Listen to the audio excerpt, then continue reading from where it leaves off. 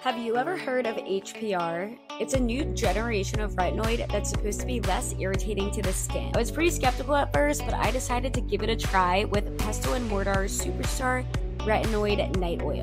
I have to say, I was pleasantly surprised. Not only did I not experience any irritation or redness, but my skin actually looked brighter and smoother after just a few uses. It reduces fine lines, wrinkles, and uneven skin tones, and because it's made with all natural ingredients, you don't have to worry about harsh chemicals. Just a few drops at night, and you'll wake up to a brighter, smoother skin.